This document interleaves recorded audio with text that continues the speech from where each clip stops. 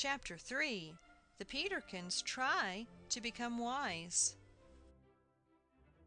THEY were sitting round the breakfast table, and wondering what they should do, because the lady from Philadelphia had gone away.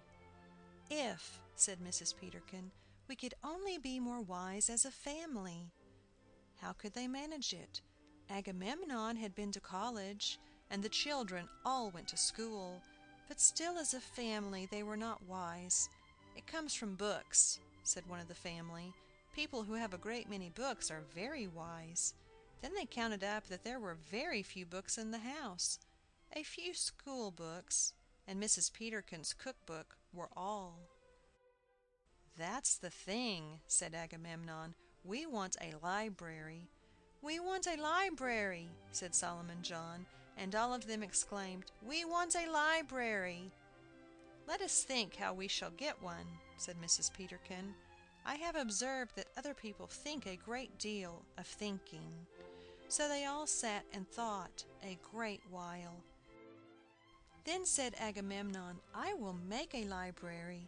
There are some boards in the woodshed, and I have a hammer and some nails, and perhaps we can borrow some hinges, and there we have our library." They were all very much pleased at the idea. "That's the bookcase part," said Elizabeth Eliza; "but where are the books?" So they sat and thought a little while, when Solomon John exclaimed, "I will make a book." They all looked at him in wonder.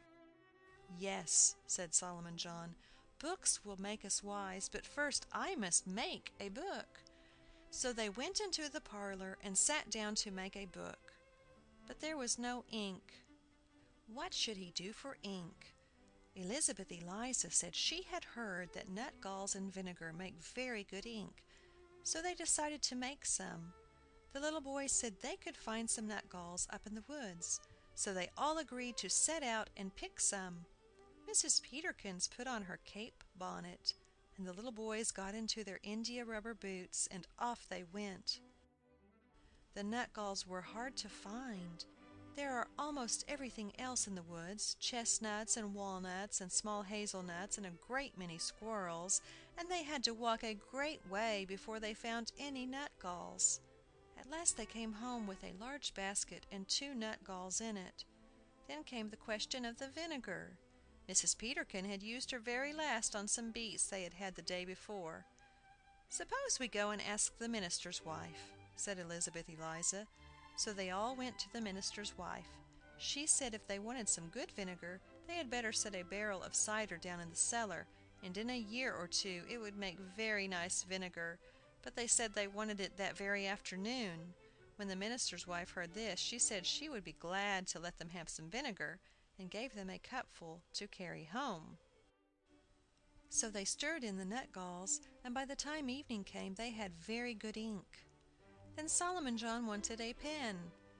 Agamemnon had a steel one, but Solomon John said poets always use quills. Elizabeth Eliza suggested they should go out to the poultry yard and get a quill, but it was already dark. They had, however, two lanterns, and the little boys borrowed the neighbors'. They set out in procession for the poultry yard. When they got there the fowls were all at roost, so they could look at them quietly. But there were no geese! There were Shanghais and Cochinchinas and Guinea hens and Barbary hens and speckled hens and Poland roosters and bantams and ducks and turkeys, but not one goose. "No geese but ourselves," said Mrs. Peterkin, wittily, as they returned to the house. The sight of this procession roused up the village.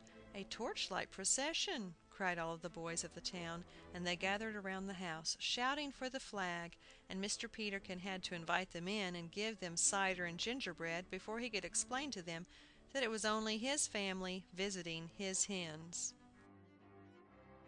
After the crowd had dispersed, Solomon John sat down to think of his writing again. Agamemnon agreed to go over to the bookstore to get a quill. Then all went over with him. The bookseller was just shutting up his shop. However, he agreed to go in and get a quill, which he did, and they hurried home. So Solomon John sat down again, but there was no paper, and now the bookstore was shut up. Mr. Peterkin suggested that the mail was about in, and perhaps he should have a letter, and then they could use the envelope to write upon. So they all went to the post office, and the little boys had their india rubber boots on, and they all shouted when they found Mr. Peterkin had a letter. The postmaster inquired what they were shouting about, and when they told him, he said he would give Solomon John a whole sheet of paper for his book, and they all went back rejoicing. So Solomon John sat down, and the family all sat around the table, looking at him. He had his pen, his ink, and his paper. He dipped his pen into the ink, and held it over the paper, and thought a minute, and then said, "But I haven't got anything to say."